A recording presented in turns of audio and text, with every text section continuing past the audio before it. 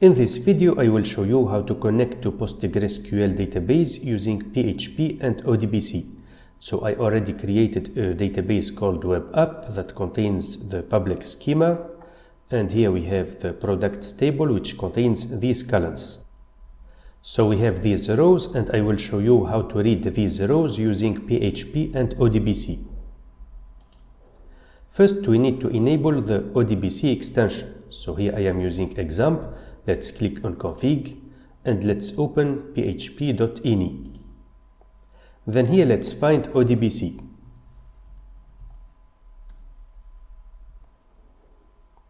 So we need to enable this extension. So let's delete this semicolon. And also we need to enable this extension. So let's delete this semicolon. Let's save the file and let's close it. Now we need to restart Apache. So let's click on stop, then start. So to connect to Postgres using ODBC, we can use the official ODBC driver that you can find at this URL.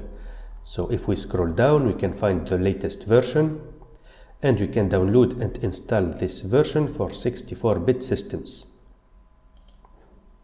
We can also use ODBC drivers from Devart. So here we can see that Devart ODBC drivers are fast and widely used and you can use them for free during 30 days.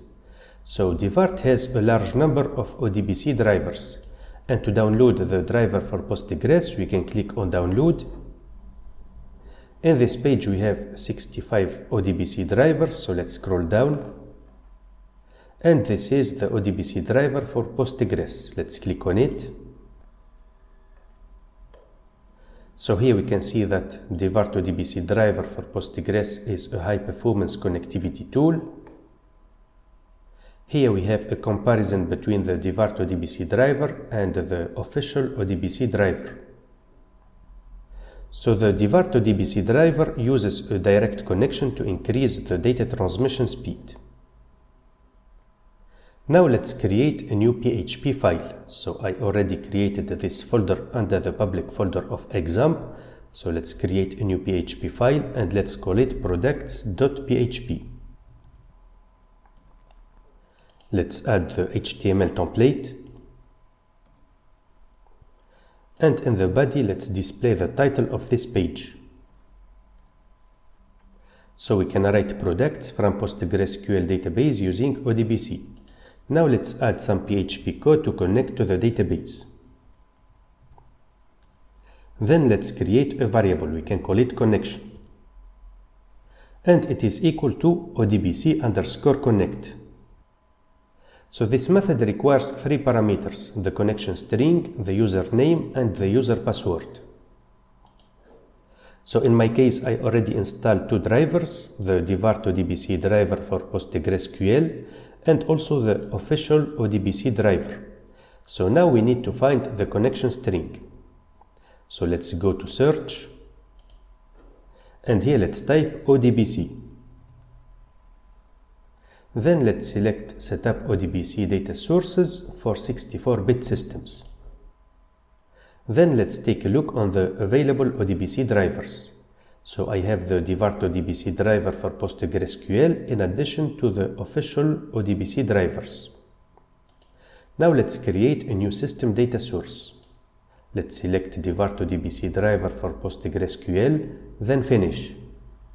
Let's provide a name. The description is not required, so let's fill the other fields. The server is the local machine, so let's write localhost. Let's test the connection and you can see that the connection is successful. Now we need the connection string, so let's click on this button and let's copy this connection string. Then OK. Then let's provide the first parameter to this method. So between double quotes, we can paste the connection string. So here we can see that we already have the username and the password. That's why we don't need to provide the method with the username and the password. So for the second parameter, it can be an empty string. And for the third parameter, it can be also an empty string. So this statement allows us to connect to PostgreSQL using ODBC and the Devart ODBC driver.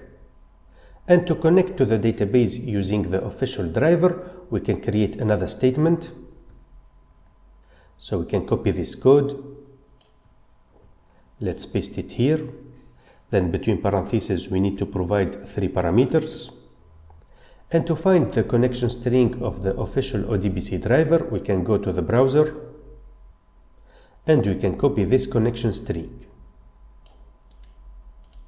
So it is available at this URL. Let's paste it here.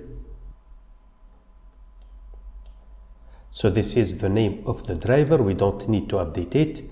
Then the server is localhost. This is the default port number. Let's change the name of the database. And let's update the user ID. So this is the username.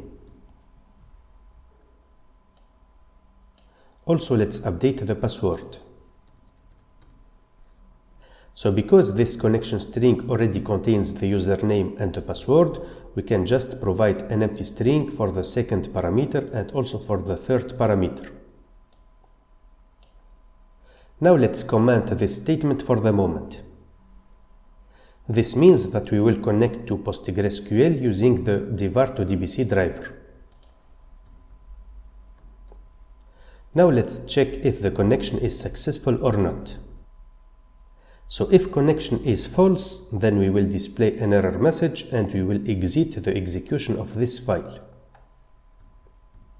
Otherwise, we need to execute an SQL query to read the data from the database. So we can create a variable called result. It is equal to odbc underscore exec. We have to provide it with the first parameter, which is this connection. Then this is the SQL query. So we will read all the products from the products table. Then let's check if we executed the SQL query correctly or not. So if result is false, then we can display an error message and we can exit the execution of this file. Otherwise, we can display the data from the database into an HTML table.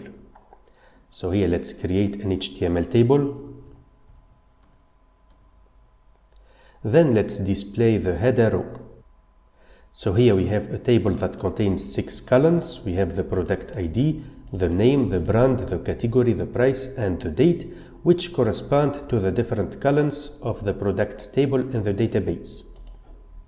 So here in the database, we have this products table that contains these columns.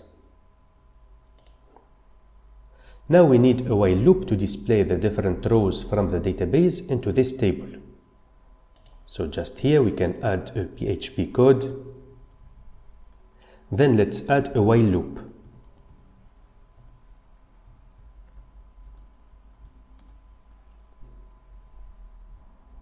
So we can create these variables to store the data of the row. So here we have the product ID. It is equal to ODBC result. This is the result variable and this is the column name. Then we have the product name, the brand, the category, the price, and the date. Now let's create an HTML table row that contains the data of this product. So let's add echo.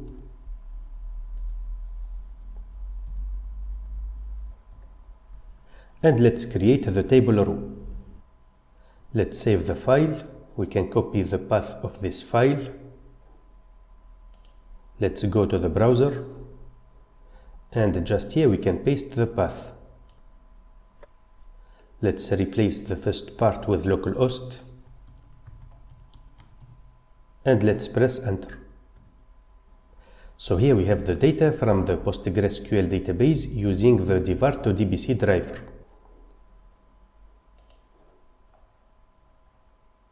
Now we can put this statement as a command and we can use the second statement.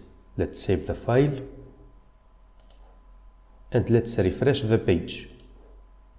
So here we can see that we have this error, we can fix it. And here we can write UID with capital letters. Let's save the file and let's refresh the page. And now we have the data using the official ODBC driver of PostgreSQL.